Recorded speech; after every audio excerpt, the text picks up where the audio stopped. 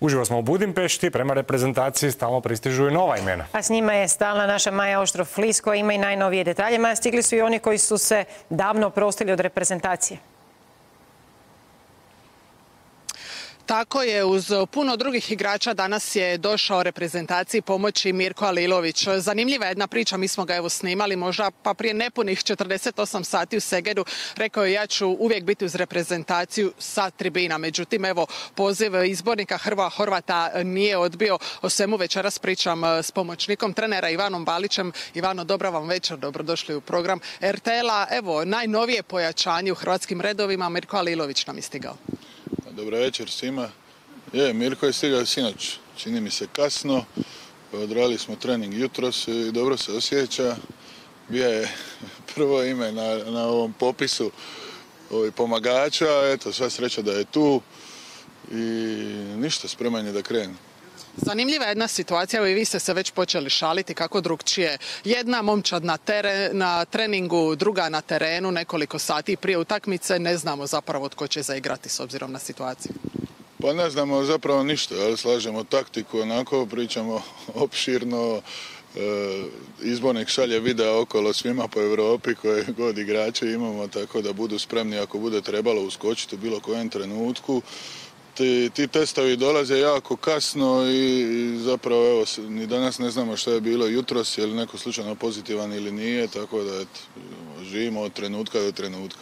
Kako vi gledate na to? Je li vas to opterećuje, ili se živcirate, stresirate oko toga ili? Pa nismo više, ono, nema smisla, već smo se počeli svi zezati oko toga, samo čekamo kad, kad neko dobije poziv i uozbilji se, onda ko, ko, ko, ko je sljedeći i to je to, ono stvarno je, na početku je bilo malo naporno, ali sad je već smiješno i eto, ne znamo što nas čeka sutra.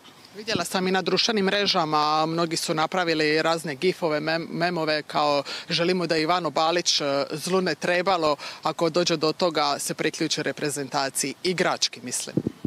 A, slušajte, ne znam koliko imamo, 3-4 tisuće rukometaša, tek onda ću ja poslije njih, tako da ne vjerujem da ćemo sve potrošiti do, do kraja ovog turnira. Možemo li malo prokomentirati ove mlade nade ovaj, e, u istinu srcem e, igraju kvalitetni budućnost hrvatskog rukometa ovdje u reprezentaciji? Pa mladi su stvarno super i skočili su vrlo važne uloge i pokazali su da se mogu nositi s tim. E, ta neka tranzicija je išla malo brže nego inače što bi bila, ali dobro, pokazali su da mogu i nadam se da će tako nastaviti. Vidjeli smo evo sad i u nekoliko posljednjih utakmica Tin Lučin prometnuo su stvarno jednu od najsjajnijih zvijezda ovdje u reprezentaciji. Imamo i taj mali Metkovski klan, do duše nekoliko ih je sad u izolaciji. Metković uvijek nekako bio rasadnih tih e, rukometaša. Što je dolje u dolini Neretve tako dobro i čarobno da je rukomet broj jedan?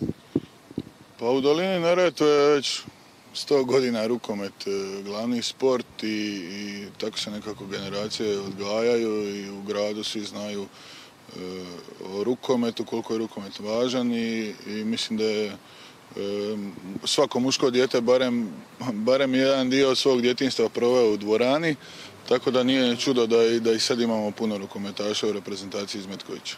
Za kraj da pitam, evo sutra ta utakmica prva ovdje u Budimpešti, Crna Gora, što, kako?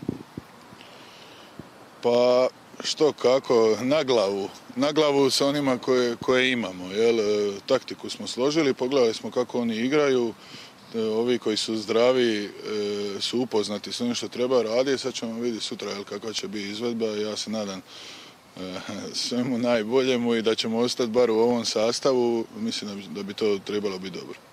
Ivano, hvala vam puno i sretno. Eto, toliko od nas iz Budimpešte sutra na rasporedu Hrvatska i Crna Gora. Hvala Maji Oštroflis i naravno Ivanu Baliću. Analiza rukometnog eura vas čeka i u RTL Sportu.